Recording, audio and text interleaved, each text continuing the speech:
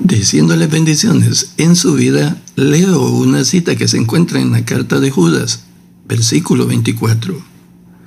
Aquel que es poderoso para guardaros sin caída y presentaros sin mancha delante de su gloria con gran alegría.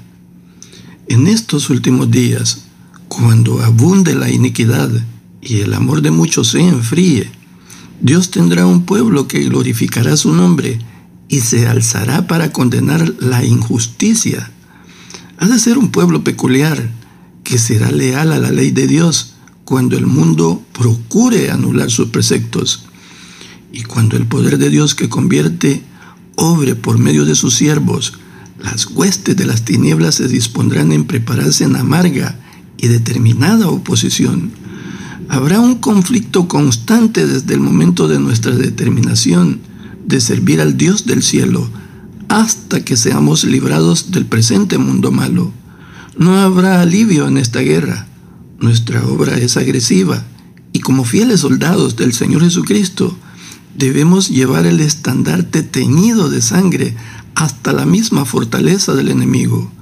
Si consentimos en dejar nuestras armas e inclinar el estandarte teñido en sangre, en convertirnos en cautivos y siervos de Satanás, hallaremos alivio para el conflicto y el sufrimiento. Pero esta paz se obtendrá solo mediante la pérdida del Salvador y el cielo. No podemos aceptar una paz en semejantes condiciones. Que haya guerra, guerra hasta el fin de la historia de la vida, y no paz mediante apostasía y pecado. La obra de apostasía comienza con alguna rebelión secreta del corazón contra los requerimientos de la ley de Dios. Se fomentan y complacen deseos impíos y ambiciones ilícitas, y como resultado, la incredulidad y las tinieblas separan al alma de Dios. Si no vencemos estos males, ellos nos vencerán.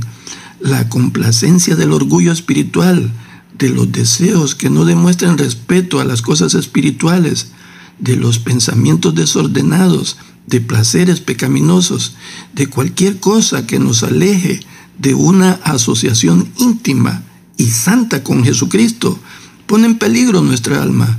Debemos pelear la buena batalla de la fe si queremos echar mano de la vida eterna.